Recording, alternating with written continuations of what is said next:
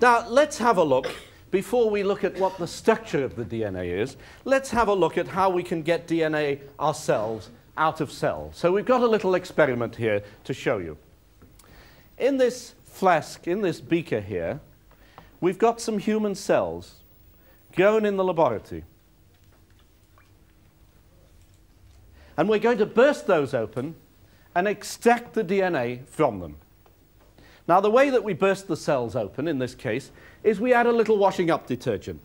Cells don't like detergent, so just look at what happens when I put some of that washing up detergent in there. See how it goes clear and gooey? That's the DNA being released from the cells. Now, how can we separate out that DNA? It's very simple. We add a little alcohol, right? Time for a bit of Christmas spirit. There we are. We add a little alcohol. Now, what we can do there is we can fish the DNA that's been precipitated by the alcohol out of here.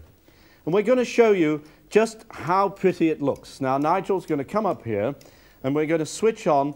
That's a UV lamp, the sort of long wave UV that sometimes makes your shirts look blue. And when we shine that on the DNA, the DNA will fluoresce. It'll show up nicely. Now let's uh, have the lights down, can we? As we pick out the DNA. Let's have the lights down.